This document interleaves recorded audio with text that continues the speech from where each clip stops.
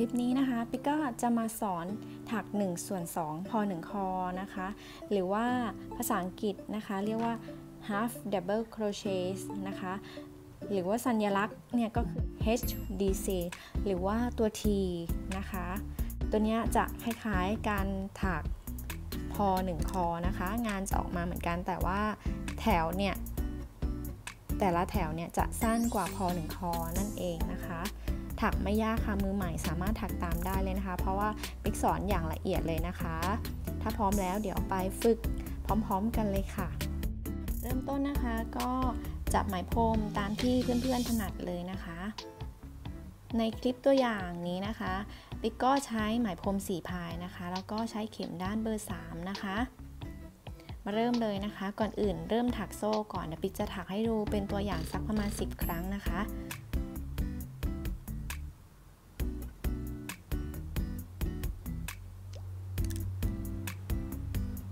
ปิ๊กจะขึ้นโซ่ 10 ครั้งก่อนนะคะ 1 2 3 4 5 6 7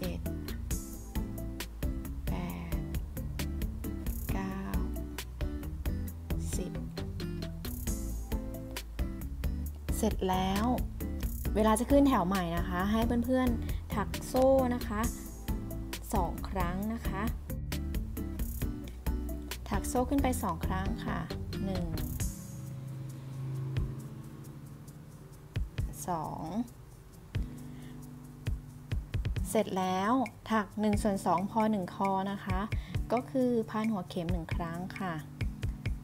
แล้วเราจะแทงเข็มลงไปในหลักที่ 3 นะคะ เพราะว่าโซ่ 2 ครั้งเป็นหลักที่ 1 นะคะ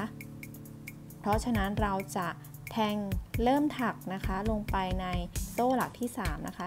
1 2 3 แทงเข็มลงไปในหลักที่ 3 นะคะ ควักไหมขึ้นมา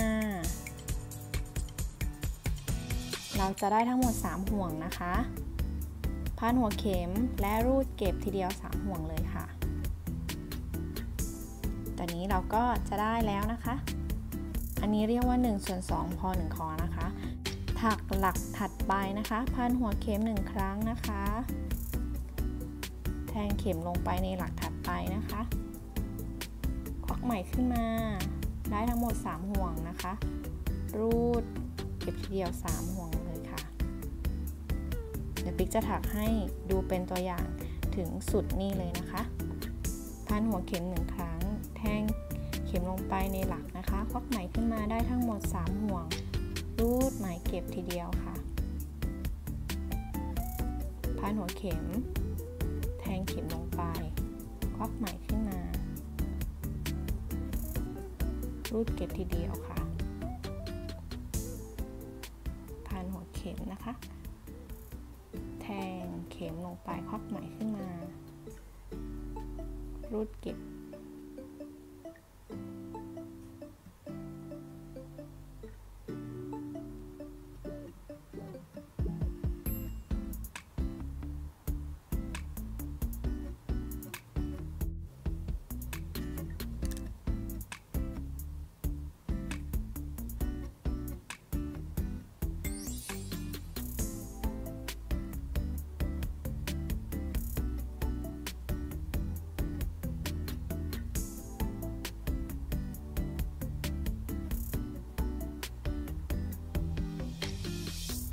มาจนสุดแถวแล้วนะคะ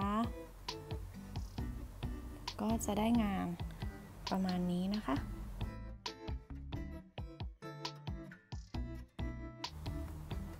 ขึ้นแถวใหม่นะคะ ถักโซ่สองครั้งค่ะ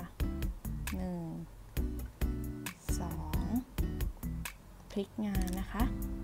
แล้วก็แทงเข็มลงไปในหลักแรกค่ะ เดิม ก็คือพันหัวเข็มหนึ่งครั้ง แทงเข็มลงไปในหลักถัดไป ได้ทั้งหมดสามห่วรูดเก็บค่ะ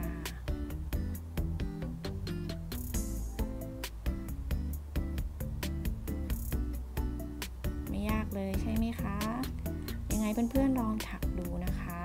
ถ้ามีอะไรสงสัยนะคะก็ทิ้งคำถามไว้ใต้คลิปเลย ถ้าเพื่อนๆถักแล้ว เป็นยังไงอย่าลืม ส่งรูปมาอวดกันได้นะคะ ที่เพจที่ปิ๊กทิ้งลิงก์ไว้ด้านล่างนะคะ แล้วก็อย่าลืมกดไลค์กดแชร์กด subscribe เพื่อเป็นกำลังใจให้ปิ๊กทำคลิปต่อๆไปด้วยนะคะ แล้วก็อย่าลืมกดสั่นกระดิ่งนะคะ จะได้ไม่พลาดรับชมคลิปก่อนใครเวลาปิ๊กลงคลิปใหม่ๆนะคะ แล้วก็ถ้าเพื่อนๆอยากให้ปิ๊กมาสอนถักอะไรนะคะ ก็ทิ้ง comment ไว้ใต้คลิปได้เลยนะคะสำหรับคลิปนี้ปิ๊กก็ต้องขอตัวลาไปแล้วนะคะ ขอบคุณที่รับชมจนจบนะคะ บ๊ายบาย